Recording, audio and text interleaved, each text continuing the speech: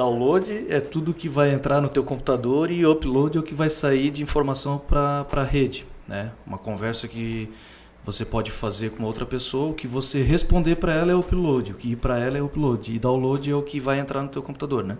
É a voz da outra pessoa, vamos dizer, né?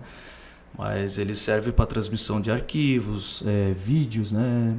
O Everton até tem a parte mais técnica, ele pode dar uma, um exemplo um pouco melhor aí de download e upload. É, basicamente, para ser mais prático, para todo que todos entendam, né, a parte de o envio do e-mail.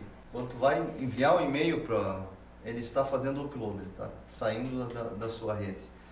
É, parte de câmeras, muitas pessoas têm câmeras em casa hoje, né, para visualizar as imagens.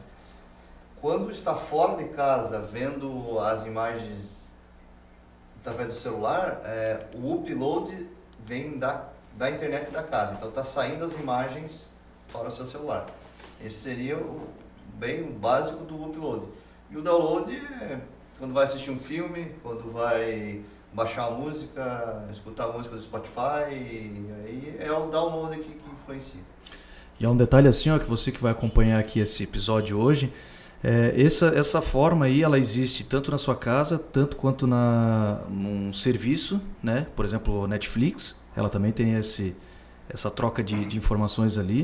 Uh, quando a gente, quando o cliente entra em contato com a gente para solicitar a internet, né? Às vezes é morador de fora e tal, vai solicitar a parte de internet para casa justamente para as câmeras. No caso dele, o importante seria mais o download ou o upload nessa questão de acesso? Upload. Câmera é upload. Tu, tu vai servir a imagem da tua casa para um determinado local. Se você está em casa, dentro do próprio da residência acessando localmente não vai influenciar a internet. Tu está usando a internet local é, da casa, é, usando a rede interna. Né? Tem várias maneiras de configurar o DVR, né? que é o aparelho que serve as câmeras. Tendo de fora, tá, tá viajando, o cara ver como tá minhas câmeras em casa, é o, é o upload que vai predominar.